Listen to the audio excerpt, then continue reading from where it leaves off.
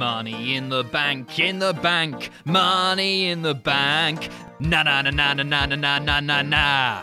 Money in the bank, in the bank, money in the bank. Yes, Money in the Bank is right around the corner, and it's probably WWE's biggest pay per view outside of the Big Four. Sorry, roadblock. The most appealing thing about Money in the Bank is naturally those ladder matches. We eagerly look forward to them year after year for two main reasons. Firstly, the stipulation. Since its inception at WrestleMania 21, the Money in the Bank ladder match has been an utter game changer. It can propel the winner from mid card to genuine main event status, and it can also be used to shift the entire landscape of WWE with a Game of Thrones styles twist. In Game of Thrones, Edge would be the one who always double crosses everybody. CM Punk is probably Peter Dinklage or something. I don't know, I'm not too familiar with it. I just know that one of them looks like Cody Rhodes. Anyway, the second reason we love Money in the Bank ladder matches is the action. Remember the carnage and the anarchy as you clashed your sticky little fists together? Two or three superstars dangling from each, unless you were a born smart like me, carefully engineering 40 minute 5 star matches on your bedroom floor, and if that's the case, best of luck to you. The world is a harsh place. What I'm trying to say is, Money in the Bank ladder matches bring that childhood sense of chaos to life. Yes, some are more story based than others, and some feature less death defying spots, but the general atmosphere of such a match is a good deal more dangerous and thrilling than usual. Combine that with a sense of very high stakes indeed, and you've got the recipe for some of the most potentially exciting matches of the year. I'm Adam Pacitti from Cultaholic.com, and this is our ranking of all 20 Money in the Bank ladder matches from worst to best. Join us! Number 20, the Women's Money in the Bank ladder match, Money in the Bank 2017. Last year's Money in the Bank pay per view saw the first ever women's version of the stipulation, and boy, did it let down a lot of people. Let's all get our booking hats on for a second. Imagine you're booking this match, the first time that women have competed for a Money in the Bank briefcase ever. Who do you have win? A plucky babyface like Becky Lynch, the ace of the division, Charlotte Flair, or, here's a thought, how about none of them? How about none of them are good enough to climb a ladder and a man has to do it for them? Not just any man, but a man deliberately portrayed as one of the most pathetic on the entire roster. That's what happened last year when James Ellsworth took matters into his own hands, shoving Becky Lynch off a ladder and retrieving the briefcase for Carmella. If we ignore the ending for a second, which we can't, the action wasn't that good either. This can be excused though, given the lack of ladder match experience on a thin SmackDown women's roster. What can't be excused is James Ellsworth seizing a key milestone in the women's revolution. Ugh. Number 19, WrestleMania 26. The best Money in the Bank ladder matches balance spots and storytelling. Some weaker bouts fall into the trap of throwing a ton of cool high spots into the mix and just praying for everything to go okay. At WrestleMania 26, it didn't really go okay. This can be seen as the match where Money in the Bank finally jumped the shark. Things had naturally been escalating over the course of the stipulation's short history, but this was the clearest misstep yet. Otherwise known as the one where Jack Swagger won, this bout saw many of its set piece moments executed in sloppy fashion. It was a generally messy, crowded affair, which didn't help when you consider there were 10 superstars in the match Kofi Kingston, MVP, Evan Bourne, Jack Swagger, Shelton Benjamin, Matt Hardy, Dolph Ziggler, Drew McIntyre, Kane, and Christian. That's a third of a Royal Rumble. You try doing your job with nine people around you all trying to do the same thing. Also, Swagger took a long time to pull down the briefcase, and it was very awkward. So awkward that they've edited it on the network version of WrestleMania 26. Huh? Number 18, Money in the Bank 2015. First things first, the action in this match was okay. Nothing spectacular compared to some of the other bouts on this list, but it was fine. So why is it so far down on the list?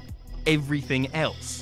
Let's start with the context of the bout. Everybody hated Roman Reigns, which is obviously nothing new. However, the hatred was even more hatefully hateful because Roman hadn't yet won a world title, and everyone knew it was only a matter of time. So WWE found themselves in a lose lose situation. Have Roman win this match and be accused of predictability and favoritism, or take a risk and give the briefcase to an ill fitting victor. Surprisingly, WWE went with option 2. After an okay match, the big dog looked to have it won. Suddenly, everybody's favorite wrestling trope happened the lights went out. When they came back on, Bray Wyatt was suddenly in the ring, tipping over the ladder and costing Reigns the briefcase. It sounds like a standard angle until you realise that Wyatt and Reigns weren't even feuding at the time. Wyatt was last seen feuding with Ryback. What the hell is going on? Anyway, Sheamus won and it wasn't very good. Number 17, SmackDown Live, June the 27th, 2017. Remember when we talked about the women's Money in the Bank ladder match and how absolutely dreadful it was for everybody involved? Well, they decided to just do the whole thing again. That's right, shortly after Ellsworth Gate, WWE decided to answer widespread online criticism by having a redo. The same five superstars, the same stipulation, but with two key differences. This was taking place on SmackDown Live, making it the first non pay per view Money in the Bank ladder match, and James Ellsworth was banned from ringside. In terms of pure in ring action, the five women had a very difficult task here. How do you repeat a multi person ladder match so soon after the first and keep it fresh, especially with commercial breaks interrupting the bloody thing every few minutes? Ultimately, this bout's action was probably on a par with its predecessor, but the finish was infinitely better.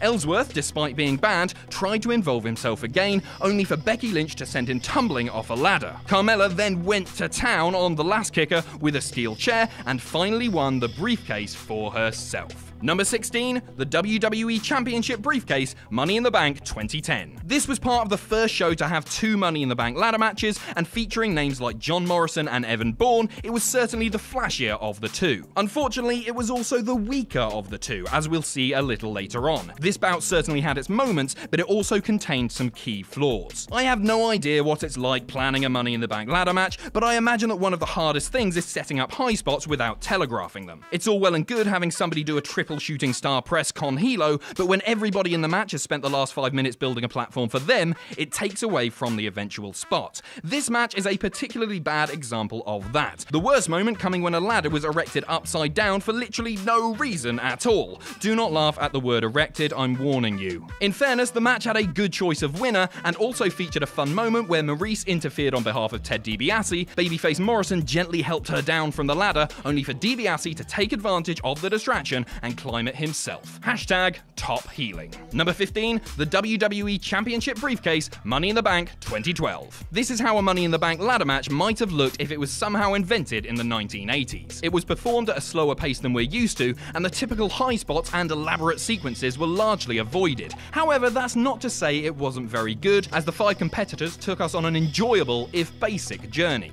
These five were John Cena, Chris Jericho, Big Show, The Miz, and Kane. And with the exception of Y2J, that's not a lineup that really screams ladder match. Although Kane has been in a lot of these matches, and I can't quite work out why. Despite not being a typical ladder match lineup, it is a lineup that screams low risk sports entertainment storytelling. Oh boy, does it scream that. And in fairness to the match, a strong story was told. Big Show was taken out early on, slammed through the announce table by Cena, and buried under a mountain of ladders. You could call it the Himaladders, like the the Himalayas. Uh, Jack wrote that joke. Show returned for the endgame when Jericho looked to have the match won, but met Cena at the top of a specially reinforced ladder. Cena tried to clonk Big Show over the head with the briefcase a few times, only for it to simply break off in his hands. Hooray! Hooray for John Cena! Number 14, the WWE Championship Briefcase Money in the Bank 2013. Like the previous match, this was a slower paced affair where the briefcase almost seemed to take a backseat to other storytelling. However, it was slightly better than the last one and was peppered with lots of little unique moments in front of a hot Philadelphia crowd. Rob Van Dam returned to an understandably raucous reception and proceeded to do what he does best almost kill himself in the name of hitting sweet wrestling moves. Ultimate Internet poster boys CM Punk and Daniel Bryan had a mini showdown, which again ensured that the crowd stayed loud, although neither fan favourite actually went on to win the match. That man was surprise winner Randy Orton,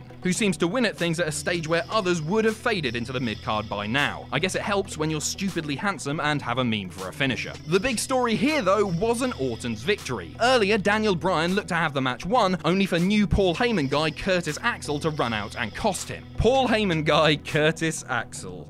Wow. Punk then attacked Axel, and Heyman himself ran out to berate his newest client, before urging Punk to climb the ladder and win. Surprise! It was all a trap, as Heyman brutalized an unsuspecting Punk with a second ladder, legitimately splitting his head open and causing rather a lot of blood. Goodness gracious. Number 13, WrestleMania 22. This was the second ever Money in the Bank ladder match, and a lot of you may disagree with its relatively low ranking. That's because you're nostalgic and stupid. The first ever Money in the Bank contest was thrilling, unique, and very well booked, and we'll talk about it later on. The rushed sequel was not quite as good. Clocking in at just over 10 minutes, this is the shortest match in the history of the stipulation. Rewatching it now, there just wasn't much to it. It's a little bit plain, and if there's something you don't expect these bouts to be, it's plain. That's not to say there weren't some moments. Ric Flair took an absolutely terrifying superplex off the side of a ladder and was helped to the back. Surprise, it was classic old school storytelling, and he returned later to a monstrous ovation. Shelton Benjamin also impressed and would eventually go down as one of the greatest Money in the Bank competitors ever, but not in this match. It's hard to watch this match and not want a little more from it. Number 12, the World Heavyweight Championship briefcase, Money in the Bank 2010. We've already talked about the other match on this show, the one where Maryse decided to have a go, but this one was a lot better. While not the most thrilling bout ever, it was very solid. Fittingly, then, it was won by Kane, perhaps the most not thrilling but solid superstar in WWE history. Isn't it weird that a man who came in as a giant, masked, fire obsessed lunatic is now regarded as a safe pair of hands? Anyway, if there's one drawback to this bout, it's the length. At 26 minutes, it remains one of the longest Money in the Bank ladder matches ever, and understandably felt like a slog at times. Still, I think the positives generally outweigh the negatives here. With both Kane and Big Show involved, the general story of the match saw smaller men like Christian, Dolph Ziggler, and Cody Rhodes trying to stop them. It made for a unique dynamic, and Kane certainly proved a unique winner, cashing in later that very same night. Number 11, the WWE Championship briefcase, Money in the Bank 2011. It's time to talk about one of the most beloved WWE WWE pay per views of all time, Money in the Bank 2011. Let's first break down why everybody loves this show so much. A five star main event between CM Punk and John Cena, a wonderful backup title match between Randy Orton and Christian, a historically magnificent Chicago crowd, and two fantastic Money in the Bank ladder matches. So before we started planning out this video, we expected both 2011 ladder matches to rank in the upper reaches of this list. Instead, this one finds itself down at number 11. But why? Well, it's clear what WWE were trying to do here. This bout had to follow a chaotic show opener, so naturally took on a more strategic, intelligent tone. That's a great booking decision, but unfortunately for all involved, descended into a little bit of a mess by the end. Psychology was clearly key here. From every man starting off the match with a ladder in their hands to Alberto Del Rio ripping off Rey Mysterio's mask en route to victory. Sadly, two ugly botches came along to take away a little bit of the shine. First, Jack Swagger and Kofi Kingston accidentally plummeted from a ladder in utterly terrifying fashion. Then, with a clear path to victory, Del Rio's ladder slowly crumbled beneath his weight like a sad old man fart. Number 10, the World Heavyweight Championship briefcase, Money in the Bank 2012. Football, they say, is a game of two halves. And wrestling, like football, is also a game of two halves, apparently. Don't quote me on that. The opening stages of this bout were very run of the mill, so much so that we thought it would easily easily rank in the bottom five. With John Cena making his Money in the Bank debut later on in the night, it was almost as if this match had been deliberately prevented from doing anything too exciting. Then, inexplicably, things picked up in a major way. You're sat watching nothing, then out of nowhere, Lord Tensai is powerbombing Sin Cara on a terrifyingly solid ladder bridge. Then Ziggler's trying to jump on his back, only to get absolutely carted across the announce table like a piece of flubber. Then Cody Rhodes is getting speared off the side of a ladder by Christian, and everybody's starting to lose their minds. Dolph's eventual victory was a popular one, but it's worth noting that people were molten hot for the idea of Christian holding the Money in the Bank contract. Sadly, he never would. Number 9, WrestleMania 24. This was the first of CM Punk's consecutive Money in the Bank victories, and to think he left WWE because they wouldn't let him headline WrestleMania. What a selfish boy. Yes, he may have been the most over superstar of a generation and never got to headline on the grandest stage of them all, but he got to carry around a big old briefcase with an imaginary piece of paper inside it. Twice! Some people need to get their priorities right. Anyway, yes, this was the first of CM Punk's two wins, and the far better received by those in attendance Independence, although we personally think it lags behind its sequel just a little bit. In terms of big inventive set pieces, this bout had it all. Although the parts in between, the glue, the minutiae holding the match together was a little bit disjointed. If that isn't the first use of the word minutiae on a YouTube video about professional wrestling, I will be incredibly disappointed. Still, despite being a little style over substance, it's hard not to appreciate this match. It had moves like John Morrison's patented moonsault while holding ladder, Carlito's backstabber off the side of a ladder, and a big happy Tower of Doom for everybody to cheer at. We even had a surprise run in as Matt Hardy came through the crowd to cost MVP, and everybody cheered him a lot. Number 8, WrestleMania 25. Punk's second win and the first Money in the Bank ladder match to really go all out with insanely difficult spots. Fortunately, when your bout features the likes of ladder specialists Benjamin, Kingston, and Christian, you can get away with that level of ambition. The risks paid off for the most part, although we almost saw an actual real life death when Shelton Benjamin dived headfirst off a huge ladder into a crowd of opponents. Notice my choice of word there into, not onto. He dived into a crowd of opponents. If there's a minor complaint to be had, it's the relative lack of storytelling. This match sometimes felt like eight guys trying to hurt each other in clever and exciting ways rather than a race to the briefcase. Still, the ending was unquestionably great. Christian and Shelton's ladder was about to send them crashing out of the ring, but Christian somehow saved himself by planting one leg over the top rope, an incredible display of balance and strength. Punk then springboarded in like an emo Spider Man, beating out Christian and Kane to scoop his second briefcase in a row. People didn't seem as happy about this one, perhaps because Christian is unquestionably the man. Number 7, the World Heavyweight Championship briefcase, Money in the Bank 2013.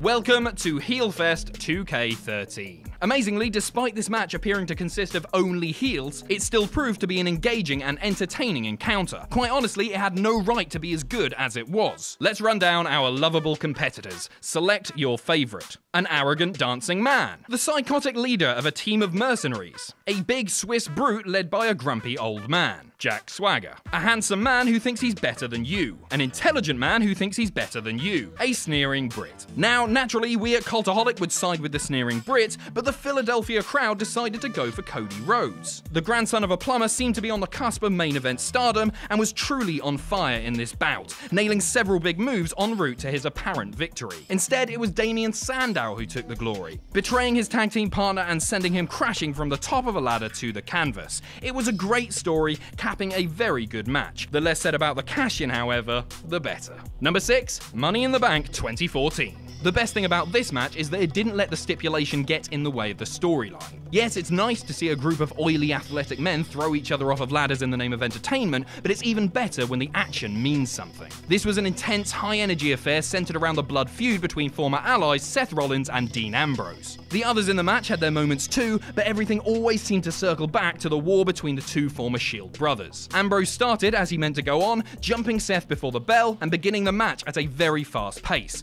At one stage, Ambrose decimated Rollins with an amazing superplex from the top of the ladder to the canvas. One of those bumps you feel yourself, even though you're sat at home with a hangover and a big tube of Pringles. This would almost certainly have secured a top 5 place on the list were it not for the cheap finish. Ambrose seemed to have the match won, but Kane lumbered out to attack him on behalf of the authority, thereby assuring a Rollins victory. Number 5, the men's Money in the Bank ladder match 2017. Like the match we've just talked about, this one was also a very exciting affair undercut by a frustrating finish. Luckily, this ending at least made sense storyline wise. On paper, this bout should be nowhere near the top of the list. Who in their right mind would book a Money in the Bank ladder match featuring the likes of Styles, Nakamura, Owens, and Zayn, only to have Baron Corbin grab the briefcase? Yes, Corbin's eventual cash in was a disaster, as the Lone Wolf found himself rolled up by Jinder Mahal in seconds. However, his victory here was a dramatic and clever one. Two rivalries provided the backbone here the eternal war between Owens and Zayn, and the tantalizing prospect of Styles versus Nakamura. Sadly, like a kid who takes Warhammer 2 seriously,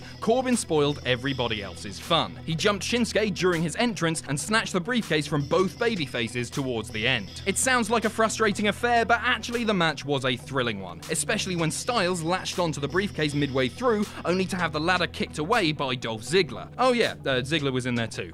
Forgot to mention him. Number 4, WrestleMania 23. After an excellent debut and a slightly disappointing sequel, the third Money in the Bank was the first to really elevate the stipulation to the next level. Here, eight superstars, including Edge, Orton, CM Punk, and both Hardys, really tried to explore the limits of the match type. They did so in two ways. Yes, we had high spots as eventual winner Mr. Kennedy pulled off some incredible feats of strength and agility. Towards the end of the bout, he nailed Hornswoggle with an incredibly tricky Green Bay plunge from the side of the ladder. It's an often overlooked spot in the history of Money in the Bank matches, but one that should be applauded simply because Kennedy managed not to kill himself or his opponent. The degree of difficulty was outrageous. Yes, this match had carnage and destruction in abundance, but it also innovated in terms of psychology. There were a few intriguing instances of strategy, particularly from Matt Hardy, the sneaky little sausage. At one point, Booker T, sorry, I mean King Booker, looked to have the match won, only for Matt to take Sharmell hostage and threaten her with the twist of fate. Hey, it may have been horribly immoral and desperate, but it worked. Elsewhere, he convinced younger brother Jeff to crush Edge with an astonishing leg drop from the top of a ladder to outside the ring. This achieved two things. It caused a great deal of pain and suffering to Matt's arch nemesis, but it also took his high flying brother out of action. Very clever, Mr. Version 1. Very clever Indeed. Number 3, the World Heavyweight Championship briefcase, Money in the Bank 2011. As we briefly mentioned earlier, this match is a big reason why Money in the Bank 2011 is one of the most fondly remembered pay per views of all time. Not as big a reason as Punk vs. Cena, obviously, but it still got the show off to an incredibly hot start. This match is like the film Speed. If you've never seen it, Neo from The Matrix has to drive a bus around LA at over 50 miles an hour. If the speed drops below 50, the bus will explode. Yet for some reason, he never never uses his Matrix powers to slow down time and work out a solution. Selfish of him reckless. What I'm trying to say is this match was wrestled at a frightening pace, with all eight men flying around the ring as though their lives depended on it. The high spots were memorable and numerous, from Sheamus powerbombing Sin Cara clean through a table to Justin Gabriel's 450 splash from a ladder balanced on the top rope, balanced horizontally, I should say, not vertically, that would be ludicrous. As if that wasn't exciting enough, we were also treated to a very satisfying finish as Daniel Bryan began his journey to global wrestling superstardom. Although a pure babyface at this time, his eventual cash in would lead to an obnoxious heel turn and the birth of the iconic Yes chant. The rest is history. Number 2, Money in the Bank 2016. This bout featured a cavalcade of excellent wrestlers, making for perhaps the smoothest Money in the Bank ladder match of all time. The participants were as follows Chris Jericho, Cesaro, Sami Zayn, Kevin Owens, Dean Ambrose, and Alberto Del Rio. Yes, even Del Rio stuck around to honor a booking. After the previous two years had seen interferences from Bray Wyatt and Corporate Kane, this was a refreshingly straightforward affair. It also had a lot to live up to, immediately following an excellent match between John Cena and AJ Styles, perhaps not as excellent as their SummerSlam and Royal Rumble matches, but still excellent nonetheless. Here we saw various individuals given the opportunity to shine. Cesaro, Del Rio, and Zayn all ran wild with exciting sequences, the latter often dishing out extra punishment to Kevin Owens. The most painful spot saw Sami power slam Owens onto a prone ladder on its side. That's the wrestling equivalent of walking on Lego, apart from those indie death matches where they actually do walk on Lego. Jimmy Havoc's probably doing it somewhere as we speak. Anyway, the victor here was fan favourite Dean Ambrose, who snatched the briefcase that he'd cash in later that very same night. Number 1, WrestleMania 21. Rocky, the Godfather, Speed. Sometimes the original is never surpassed. Yes, Speed has a sequel. It's called Speed 2 Cruise Control, and it's set on a cruise ship. It's not very exciting. Neo from The Matrix didn't even return for it. Like these blockbusters, the original Money in the Bank ladder match still holds up as a real classic. Although not as complex as many later efforts, this bout was planned and booked to perfection. All six men had a clearly defined role, all of which combined to tell a wonderful story on the grandest stage of them all. Chris Jericho was the favourite, having pitched the entire concept of the match to Eric Bischoff. Kane was Kane, throwing smaller people around and dominating the early stages. Christian was at his annoying heelish best, flagrantly utilising the help of Tyson Tomko at ringside. Shelton Benjamin's athletic prowess shone through, as it would in several other ladder matches over the years. Chris Benoit, as uncomfortable as it is to say, was the brave babyface, headbutting Kane off the side of a ladder when it looked as though victory was in the larger man's grasp. Instead, the ultimate winner turned out to be Edge, blindsiding Benoit with a steel chair and snatching a famous victory. So that's our list. Let us know what you think in the comments below, and you can follow me on Twitter here. If you enjoy what we do here at Cultaholic, you can pledge to our Patreon. That's patreon.com forward slash cultaholic. And most importantly, don't forget to hit subscribe and join us.